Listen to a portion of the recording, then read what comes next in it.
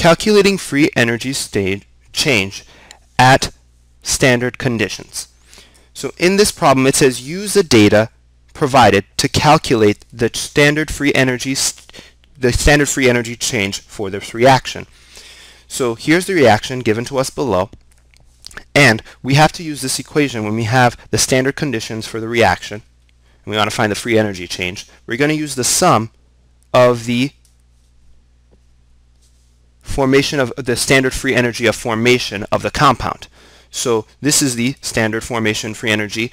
We're going to use the sum of the standard free energy for, of formation for the products minus the sum of the standard free energy formation for the reactants.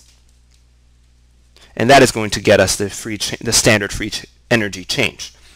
So when I do this equals, we see that there's one mole of each of these gases. So each one of these is going to become, I would just multiply these by however many moles, and when I multiply by 1, all of them are going to end up being 50, the same. So 52 kilojoules, negative 137 kilojoules, 87 kilojoules, and so on.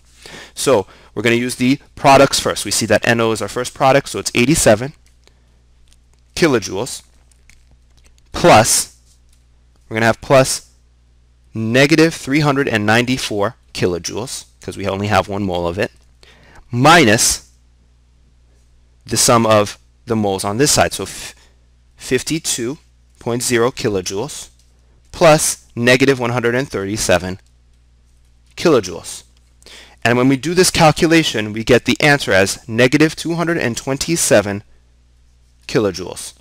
And so that is the answer to our problem.